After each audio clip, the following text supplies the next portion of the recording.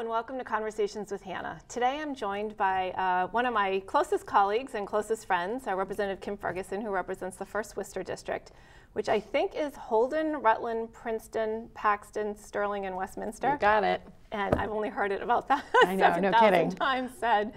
Um, but I am really grateful for you coming here today. I thought it would be good just to update folks. Um, we just started a new legislative session, the 191st. Yep and thought we could uh, recap a little bit what it's like to start a session. Um, and then obviously, um, I want to get into education funding. You're the ranking minority member um, of the House Committee on Education and mm-hmm. really want to get um, sort of talking about one of the things that we know that we're going to be taking up this year that we dealt with last year but couldn't quite come to resolution on. Right. So. Um, but you and I got sworn in uh, early January. January 2nd. Uh, it was a fun day. It was the day before the governor and lieutenant governor got right. um, sworn in for their term. Um, but there's a lot of sort of um, historical pomp and circumstance to it in terms of committees being formed to go right. alert the other branches or the constitutional officers. And um, so uh, it's always um, a fun day in terms of for ourselves being mm-hmm. sworn in, and usually there's also family members who come along and, and right. get to enjoy it. Um, I, it, for you, it was your fifth time being sworn right. in.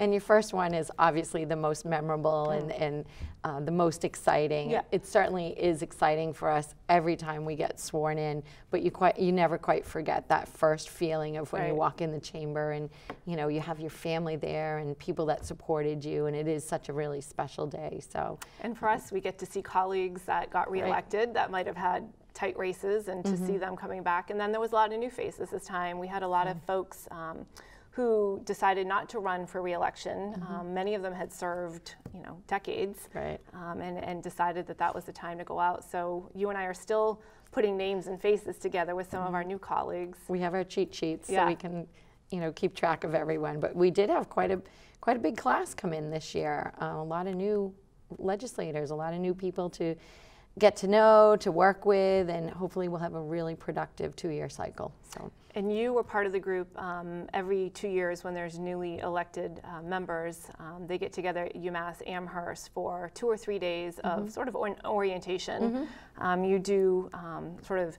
mock um, hearings and seeing what session would be like so they have some feel for it before the first time we go right. into it. Um, right. How did that go this time? Were the members sort of, you know, as they're getting used to it, is it um, something that they seemed excited about or still nervous or? Definitely. I mean, a, a, little bit of everything, I think, thrown in. We do that in December every other year, and it's always an honor for me to be asked mm. to go mm. back and do some of the education pieces and to sit on some panels and actually get to know the new legislators. And, you know, we have quite an impressive group of new people that have mm. come in. Um, some definitely were more nervous than others, but they are all in all, they're certainly delighted that they were successful in their mm. elections. They're ready to go. They had a lot of ideas they wanted to run by us and, and talk to us about. And really, we do spend a lot of time just talking to them about, you know, some hints as to how, what kind of works, what doesn't work, trying to be there to give them guidance um, and also to provide them with some faces, you know, familiar right. faces, so that when they do go in in January and everything goes haywire and they're thrown right yeah. into it, that they know they can come to us and say, you know, remember when we talked about that in December? You know, I'm having a little trouble with this, or yeah. Um, it's going really great, but they still have that connection, so it's nice. And it's a great bonding activity for them as well. I mean, that Definitely. freshman class, we used to call them freshmen, the new legislators. Mm. Um, you know, they get to spend a lot of time for three days with each other as well and, and start to form, form some bonds and friendships, right. much like we have, although we were never new legislators together. But, you know, you really do need those people that you right. know you can go to and say, you know, gosh, it was a really hard day or it was a great day and I want to talk to somebody about it. So it's a good experience all the way around. And this year we have um, we've gone up a little bit in terms of the number of women yeah. legislators. We're at 28.5 uh, percent, mm-hmm. so out of the 200 um, just over 50. Yeah. Um, for us, as Republican uh, legislators, there are seven women um, who serve as Republicans um, yeah. in the House. There are none in the Senate. Um, Not yet. So Not we're, yet. we're a mighty group right. Um, of, of seven out of our uh, 32 members at, on the Republican side. and we welcome some additional new colleagues mm-hmm. on our Democratic side, women legislators. And, and we do have a caucus, a caucus of women legislators, and it's really built around the idea of um, you know, promoting policy um, that helps women Mm-hmm. in Massachusetts. And so that's a wide ranging, it can be economic, um, it can be public health, it can Mm-hmm. really stretch any, um, it can be education related.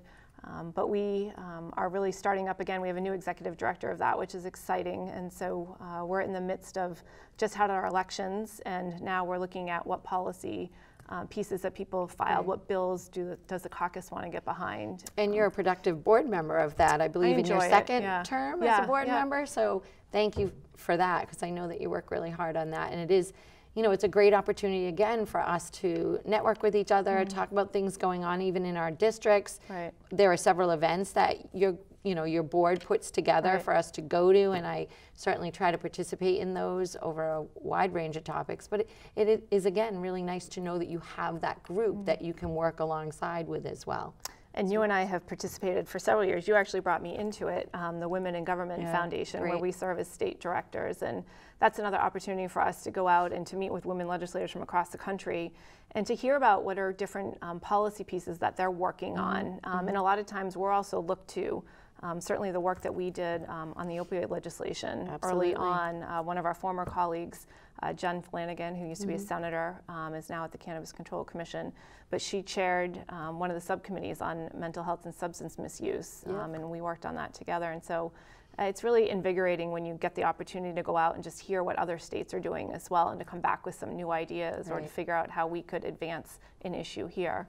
Right, and you know, we, we do find that although we have some similar issues state to state, we handle them differently, Right. or you know, maybe there's something. Example, we've been a leader on a number of issues between education, education reform, as you mentioned, the Mm. Yeah. opioid crisis, um, human trafficking was another one that we've produced some legislation on that people have tried to model after. So it, it is great to get out and meet with people from other states and say, well, how did you tackle this, or what's working, what's not working. So It really it's a good struck opportunity. me when we were um, working on the opioid legislation here. It was a bipartisan, unanimous, many u- unanimous pieces of legislation we've passed dealing with this. When we would talk to some of our colleagues around the country, um, their states struggled. They didn't have agreement that um, it was an issue or an epidemic or that it was even a, a medical issue. Many Right. saw it as a character flaw.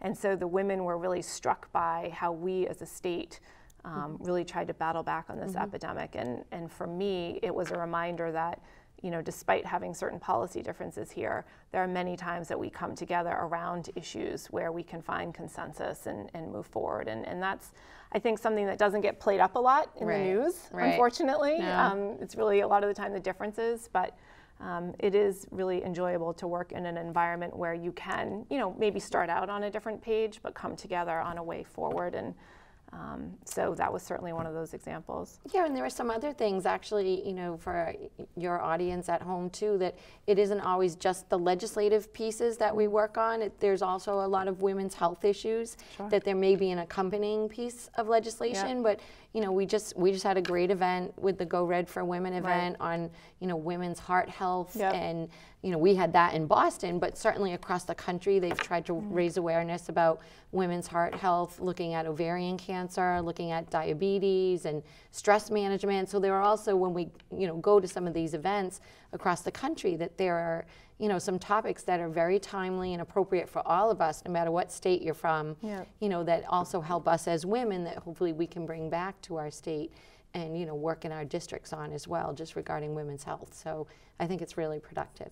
So we get sworn in, and then we have just a couple of weeks to file all the bills that we want to file Right. um, in this legislative session. So uh, I, I think I filed 20, uh, I think 22 this this time. I think it was 27 last time. Yeah. Um, you know, in a wide range of topics. Um, you and I collaborate closely on that, sort Mm-hmm. of thinking through what are the different pieces that we're filing.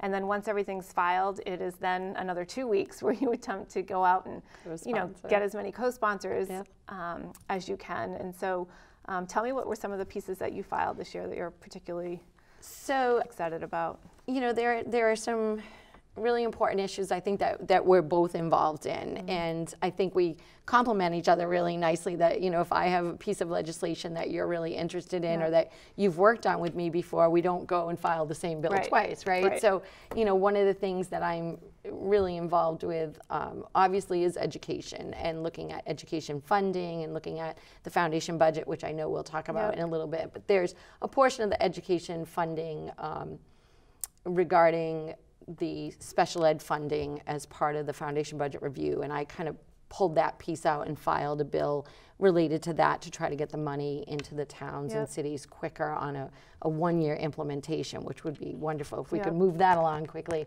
Um, and there are some others regarding some transportation issues that we've in, been involved in as well together regarding schools. Um, but there's one that um, got a lot of attention last year. It was the, last session was the first time I had filed regarding the misrepresentation of a service animal. Yep. And you have worked incredibly closely with me on that issue. And I did refile the bill again Right. um, this session. It made it uh, pretty far through judiciary and right to the end of getting out of judiciary, and we ran out of time last year Yep. uh, during session. And with the criminal justice reform package, we were quite busy with that. So the service dog bill kind of got um, pushed aside a little bit, and we needed to do a little bit more work on it with the actual penalty phases associated with it. So that's a big one. It- Yeah. It's misrepresentation of a service animal. Maybe sometime you could do a show just about Love that to. topic and have some folks in to talk about why it's so important. But you Mm-hmm. know, we really do have a significant issue, not only in the state but throughout the country, regarding um, you know people's pets who are wonderful and cute and and great, but they're not a service animal. And you know, And you have NEADS is located Yep. in, is it Princeton? it's Princeton. Yep. Yep. the service dog. So they're an international service dog Yep. training facility. They do some remarkable work, and I'm really tied in with them Mm. as well. And you know, it's been a real concern for them because they've actually had working service dogs that unfortunately have been attacked by you know dogs, yeah. someone's pet that is impersonating a service animal. And You always bring trouble. in um, the dogs during budget Yes. uh, week, and that's They will be always. Uh, that's Yep. a great uh, time to take a break from Right. sort of battling it out for dollars to go visit uh, with the service dogs. Well, and it's funny that you bring that up. That you know the um, when the dogs come in, they're there obviously to do their job, and they have a service that they provide and Mm. Yep. to educate our members about why service dogs are important, what they do for their clients, or we call them teams, the service dog and their their partner. But the funny thing is, when we bring those dogs in, and budget week, as you know, is very tense. We're Yep. exhausted. You know, we're together for what 12 hours or more Yeah. in the house chamber and you bring that dog or, or dogs in and everybody just kind of takes a step back and relaxes a little Yeah. bit and and they want to see the dog learn about the dog and what we've tried to say to people is this is what that dog sometimes does for a young child with autism Yeah. who has social anxiety or who has difficulty communicating with others that somehow just having that dog by their side Yep. just you know, takes down a level, and they're able to do that. And our veterans with PTSD, Yep. you know, again, that dog is there that also gives them some comfort sometimes if they're in a situation that's very difficult and stressful for them. So Mm. And I think it's really most cool. people probably just recall most recently um, former President Bush's service dog Sully. Sully, Um, yeah. And so I think, you know, um, for a lot of people who may not have been familiar with Mm-hmm. service dogs before, that was really uh, an opportunity to understand uh, the role that they perform. But I'll be looking forward to seeing. Um, They'll be back. Loring and the crew yeah, will be back. sweet. And uh, Sully has gone on. He is at Walter Reed now. Yeah. He didn't retire. They felt that he had more work to do on behalf of the former president, and so. Yeah, he's down at Walter Today Reed. show the yeah. other day. It was great. It was a great piece. So And he got to meet the real Sully, who he was named after, the Right, pilot um, right. who landed on the Hudson. So there are plenty of other bills we could talk about forever that I've filed, but that's the one that's really near Uh-huh. and dear to my heart and clearly important to a lot of people. So. Well, and it's funny because a lot of people, I think, aren't aware that you know there's somewhere usually around 6,000 bills that get Mm-hmm. filed, and only four to six percent of them will make it all the way through the process. And Right. so, a lot of what we do is. Um, Sort of continually trying to move further and further each session to finally Mm-hmm. the get field. the bill Right. um, passed. And so, you know, I know that's one that you're working on. Several of the ones that I filed are things that I worked on last session. Who, you know, sometimes again it's the clock that they become victim to. Right. Um, you just run out of time to deal with all of these things. And so, for those bills that got a certain um, incremental way last time, we're looking to push them past Right. that this time. And so, um, now that we have our, our bills filed and our co sponsorships done, now we shift to the budget. Um, Right. We got our committee assignments in the last c- couple weeks, so we know what we're going to be working Mm-hmm. on. Um, And you have a big one, big new I'm role. yeah, I'm excited to be on the Ways and Means Committee Yeah, um, which is great. session. Something that I had wanted to participate in, and um, you know, for me, it's also an opportunity to learn more. I'm always trying to figure out how to learn Mm-hmm. more in this job um, and understand different things, and so excited to be doing that. Um, Shrewsbury's fortunate in that Senator Mike Moore is also on Ways Yeah. and Means, so uh, he and I will work closely together in that capacity. Um, and I'm excited to be returning as the ranking minority uh, House member on public health and on marijuana policy Mm-hmm. as well, two areas that I've done a lot of work in the last couple of years and excited to continue in those roles. And um, one of the things that ends up happening is, you know, we become sort of subject matter experts for colleagues, Right. you know, and so we all know what we're serving on. And if there's an issue, Mm-hmm. you know, we'll go talk to one of us. Um, for you, you've been the ranking minority member on education, I think, since you arrived started. in 2010. Yep. So Yep. um, all of us, all of our colleagues really go to you to help understand issues. And, um, you know, education, I know most people are aware that it was certainly something we, we tried last session Mm-hmm. um, to work on. And it really came out of the Foundation Budget Review Commission that you were a part of. Right. Um, that concluded in 2015 Right. your report. I remember coming um, when I was a new member. I remember coming to some of the sessions Mm-hmm. to listen in on the commission's work, and um, you know, unfortunately, sometimes things move slower than any of us would like Right. um, at the They state do. level. Um, but you've really been working on this issue. So why don't you tell us a little bit about sort of what the conclusion was in Mm-hmm. 2015, the four areas that were really deficient and needed to be addressed, and Right. and sort of where we are today. Well, thank you. And, and, and again, it, it's a credit to you that you were so well matched with the committees that you're on again and your new role on Ways and Means because I think that you're in the right place and I think that you do have that expertise and it's great because we go to you for things as well. So, um, congratulations again. Um, the Foundation Budget Review Commission did it, yeoman's work a few years ago, and I don't know how time flies the way it does, but it does. Um, and you know, we had hearings all over the state. We met for a year and a half, at least, um, working on the results for the Foundation Budget Review Commission report and the output. And you know, we really had to narrow it down into four categories because if we took all the recommendations and every single thing that we heard from the Cape all the way out to the Berkshires, you know, it, the report, first of all, was going to be hundreds of pages long. But secondly, we, we really wanted to produce something that we could work with Right. and really have an impact um, on. So, And this was really driven by the fact that um, the education reform in the early 90s, um, you know, had been um, in effect at that time for 22 years, and it was recognized that. Um, you know, it was great work when it was done, but in those intervening years, you know, things had changed. Certainly, a lot has changed um, in the way that we operate, um, and that some of the funding was not keeping up pace with Right. what some of the actual costs were. Right. And so this report, you know, was extremely important to all cities and towns Mm-hmm. because it's something they had long recognized and really felt that they were not getting enough funding from the state to keep pace with the costs that they were incurring. Certainly local taxpayers, you know, who are taking on more and more of the burden of Mm-hmm. education were interested in seeing the state step up additionally. Um, and so this was something that, you know, there were many, many stakeholders involved in. And so you had to balance a lot of, you know, competing interest Mm-hmm. with the reality that we have, you know, a, a certain amount of money right. and, and having to figure out, you know, if we put more money into education funding, where are we pulling it from? How do we how do we um, find the funding necessary? There wasn't a lot of disagreement that the formula um, wasn't broken. I mean, most people, I think, pretty much agreed Right. that it needed attention.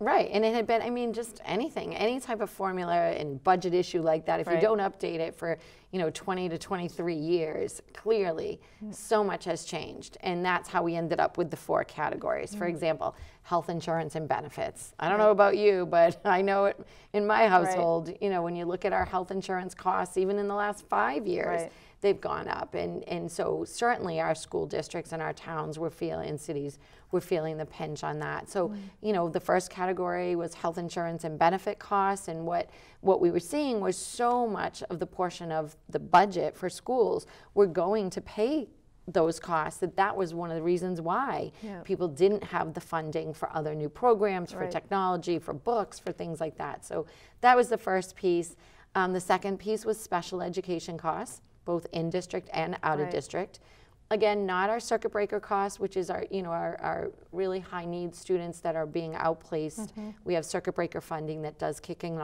kick in on that but this was also you know we have some great in-district programs Right. that are being run by districts here Well, Uh, you know, actually were gracious to come out um, and had a meeting early on with Superintendent Joe Sawyer Yep. and Assistant Superintendent um, for Operations and Finance Patrick Collins and I, and really talking about um, a concern before the report was done that Shrewsbury might actually be a community where we were um, unintentionally, certainly, Mm-hmm. but penalized because we do keep a greater percent of our kids in district. We have services, and the way the formula was looking at being tweaked was going to uh, potentially reward more out of district than potentially in district. And so we had a conversation about that. And in the end, I think It's the in there. report did Yeah. recognize. Um, and so, you know, again, these are.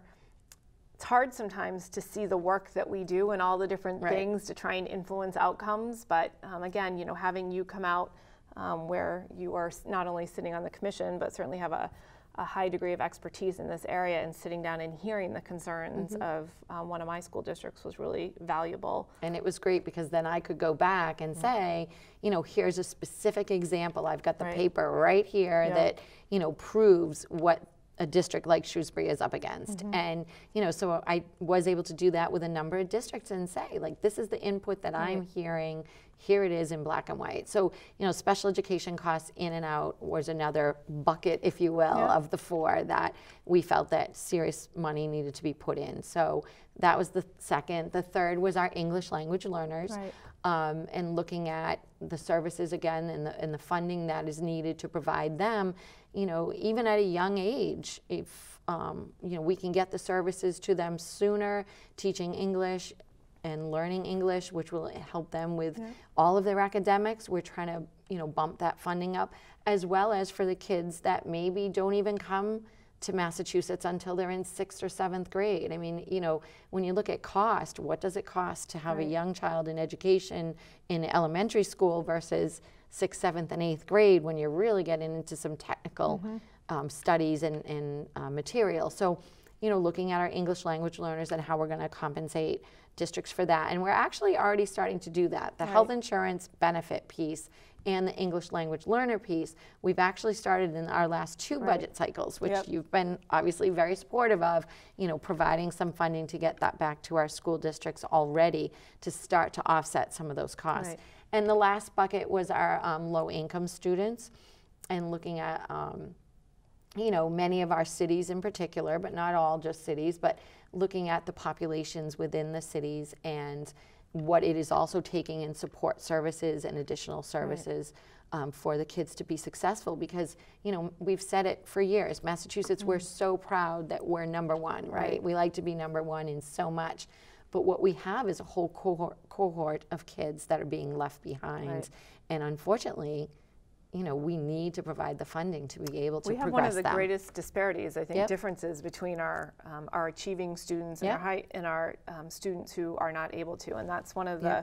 And I think um, the Secretary of Education, Jim Peyser, has spoken. Um, really specifically on this challenge of being a state that's number one in education so everyone sort of thinks Mm-hmm. Yeah. oh it's all good It's all Massachusetts but when you look underneath it, you really need to understand where are some of our challenges and the fact that we do have kids. And, you know, it's always a little bit difficult because you have the challenge of having urban, suburban, and rural school districts. Mm-hmm. And each has differences. So, you know, some of our colleagues that represent rural communities, you know, they actually are losing some population. Yes. And so now they have fewer students, but they still have some of their same fixed cost. Yep. Um, and they're trying to figure out, you know, how do we ensure that we have proper funding um, to help us transition Right. through this period of time. And um, nobody wants to say that they're going to close a school Right. because certainly, you know, Right. we, we don't want to hear that. We certainly don't want to have people having to do that. But some, because they're having such issues with budget and Yep. with those fixed costs, and they're waiting for more funding for the state, I mean, that's a real conversation that's happening. It, not in this area certainly, Right. but when you get to the western part of the state, they're looking at how are we going to consolidate and how are we going to serve these kids best. So that is a really you know significant issue. So th- you know the long and the short of it is those four large Yep. buckets, if you will, that we're trying to figure out how to work the formula and how to put the money in there appropriately. Ideally, you know, when we were discussing it on the Foundation Budget Review Commission, you know, we, were- we were looking at maybe a five-year cycle of implementation. I think most of us agreed there's no way that you could implement all four of these recommendations to the cost of almost two billion dollars in one fell swoop. It's just, it's just, uh, you know, a huge amount of money that we just didn't know where that was going to come from. So I think then what you saw evolve out of that is several bills, Right. several attempts um, during the budget process, and like I said, we've started to implement. Yep. Not as fast as some people would like, Right. but we are starting to implement. Now we need to finish the job and really have a firm timeline on what we're going to do. So we have, um, you know, certainly last year we had a, um, the House and the Senate um, had passed two different bills, and when we have bills that are sort of the same subject but a different approach to it, we have conference committees that are set up. And last year we had a conference committee um, that you were on, um, representing the House, um, which was three members, and then three members from the Senate. Um, working down to the wire, just couldn't come to agreement, and so now this session, um, we've had a member of the Senate file um, a bill, the Promise Act. We've had a member of the House um, file a bill, Rep. Tucker, who's the Vice Chair of Education, that you and I are both co-sponsors of. Yep. And you've had the governor, um, the administration, file a bill. And you know the the effort now is to sort of take the um, three different ways of looking at it, where there's a lot of overlap in some Mm-hmm. Areas, and, and in some areas there's definitely differences and try to figure out, you know, how can we move forward on this issue Mm-hmm. and to do it early enough in this legislative cycle that, you know, A, it impacts the, the funding for our cities and Right. towns um, sooner versus later. Um, but we also don't run out the clock again and that we have an opportunity to work on this. So we, um, you know, we'll shortly see these bills get sent to Education Committee. It usually takes about a month after our committees are set up before they actually receive all their bills. Right. The Senate and the House clerk are very busy, uh, Senate clerk and House clerk, figuring out where to send bills. So um, I would anticipate, though, that these would be bills that the Education Committee would take up right away.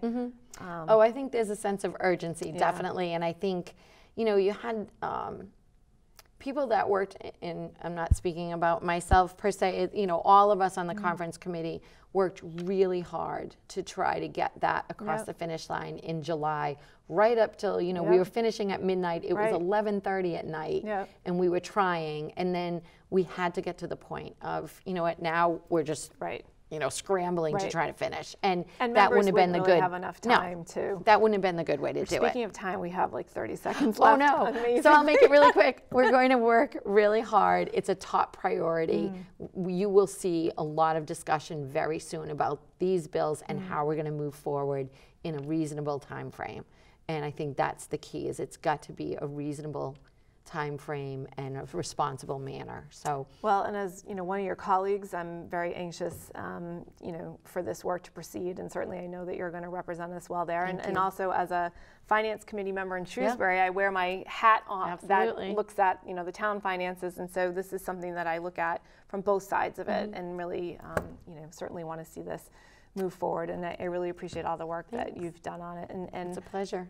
thank you for joining me here today. That's great. I'll be Yeah. back. We have Yeah, more to talk about. So Uh, definitely, again, thank you. I appreciate that. And stay tuned. We'll be back uh, next month with another episode of Conversation with Hannah. I hope you enjoyed this one and certainly reach out to me at any time. Um, my Boston office is 617 722 2810. Take care.